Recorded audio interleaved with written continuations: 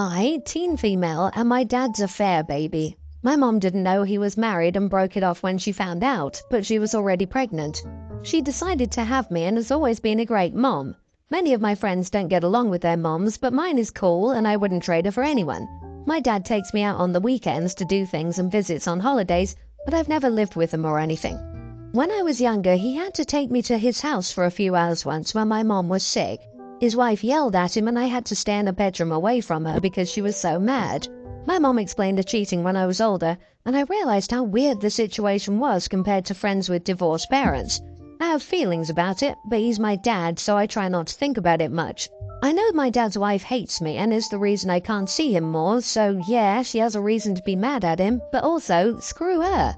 So a couple of months ago, my dad asked if I would like to spend weekends with him. I said I'd be okay with it if it wasn't at his house. He said his wife wants me to come and she's had a change of heart. It sounded really sus, so I said no. Then this weekend, she wanted to come to have lunch with my dad and me. She said she realized how important I am to my dad since they can't have kids now and that she'd like to make up for it all and be my stepmom if I let her. It made me mad because she's made it hard to see my dad my whole life and now she wants to be nice. I might be the idiot because I told her that if she can't have kids, that's karma for how she treated me, and she's never going to be anything but my dad's wife. She started crying, and my dad told me later that it was a terrible thing and I needed to apologize. My mom said that she put me in an unfair situation and I should probably avoid talking to her right now because she's having to deal with infertility and hasn't really gotten over things. Am I the idiot? I feel like she kinda deserved it. Eh, I tried to screw your daddy for years, but since that didn't work, I guess you can work.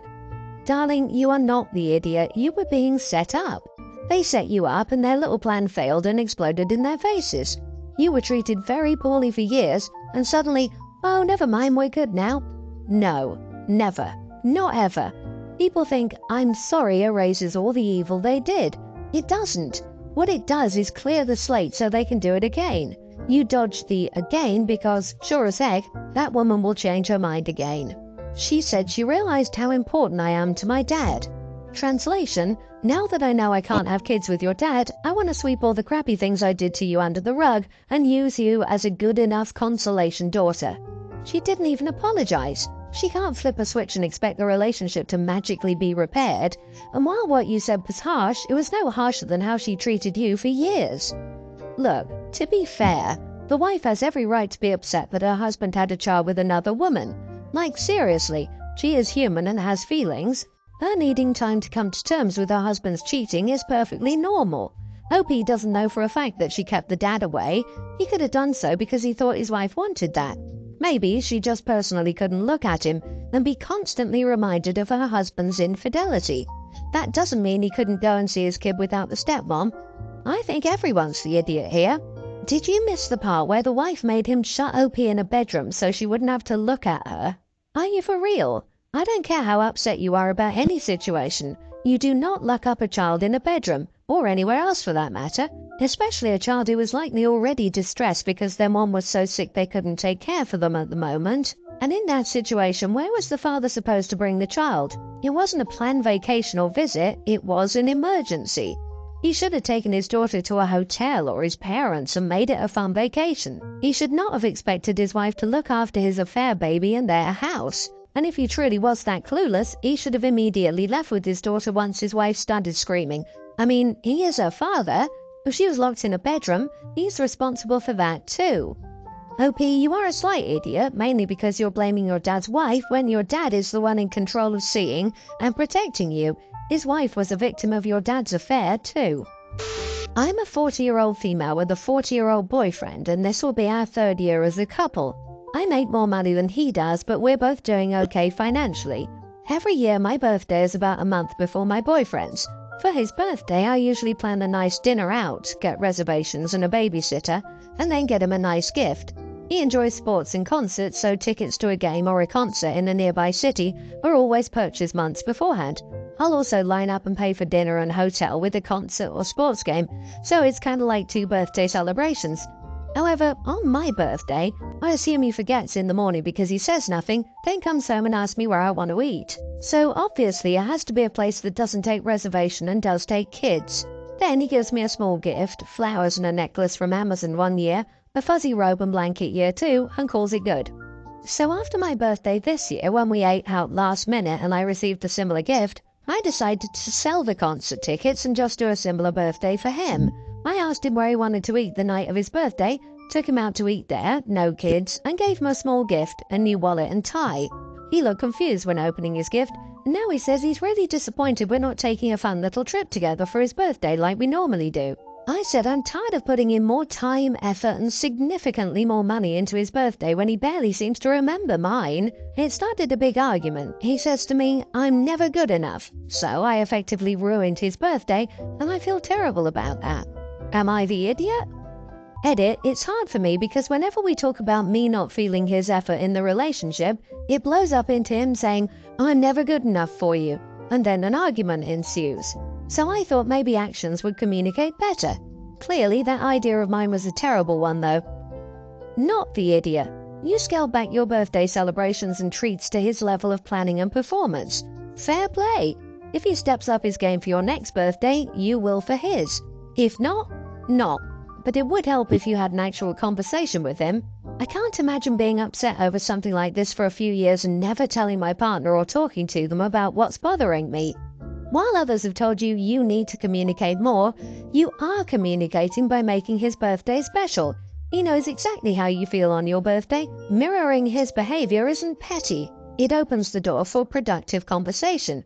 The ball is in his court now. Either he will continue his behavior on your birthday, knowing exactly how it makes you feel and exactly what the result will be next year on his, or he'll change.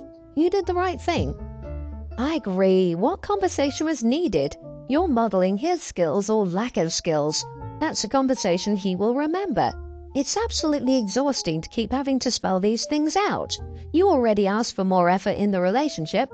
Until something changes, you can't keep giving 100% to someone who's only giving 50. He's being selfish about the whole damn thing.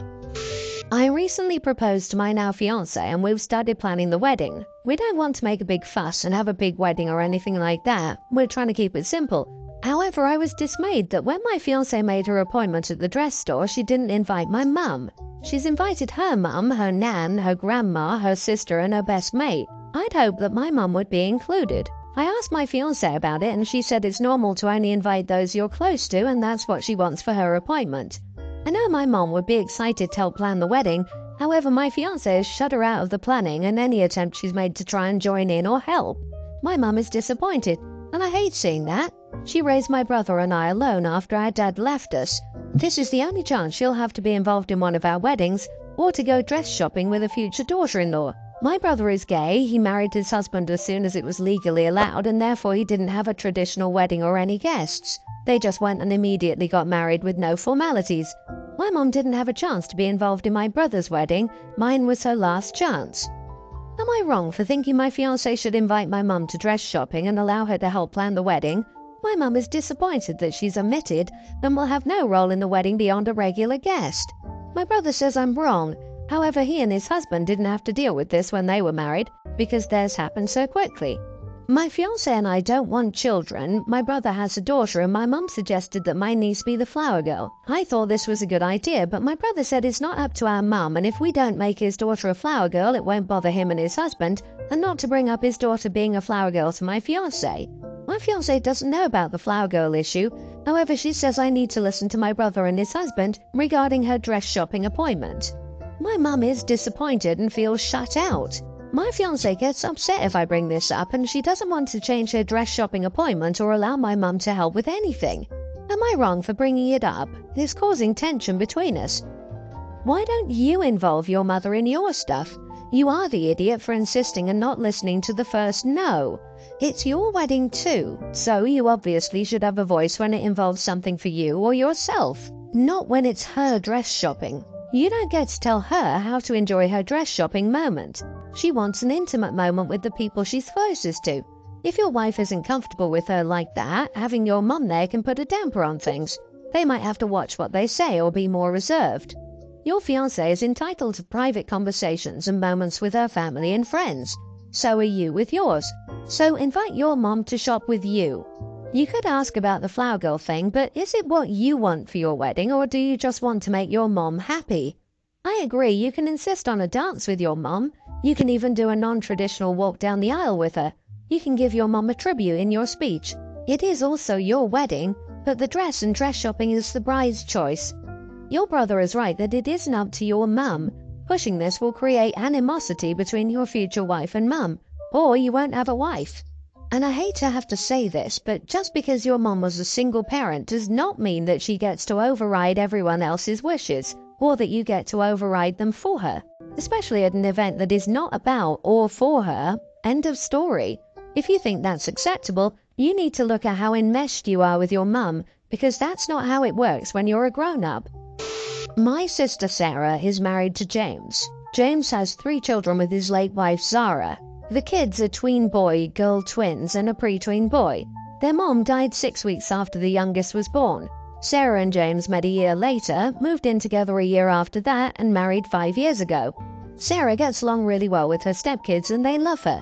But Sarah is very insecure regarding her place in their lives. She wanted to adopt the kids, but they didn't want it. None of the kids call Sarah mom. They do love her, though, and that's very clear. There is no, you're not my mom, you can't tell me what to do going on, but they only ever use mom for their mom. The kids look very like Zara. The kids love being told that and they love talking about it. It makes them light up when they hear about their mom, but their reaction is super special when people mention how much they look like Zara. Sarah hates it. She's tried to suggest the kids look sort of like her, and the kids think she's silly when she does that, and they've told her that before, but in a very soft way. The kids spend time with Zara's family, and sometimes James and Sarah are involved, but not often. It bothers Sarah that they're not more enthusiastic about her. It bothers her that they never refer to her as the kids' mom and will ask the kids how Dad and Sarah are or will tell them to get Dad and Sarah.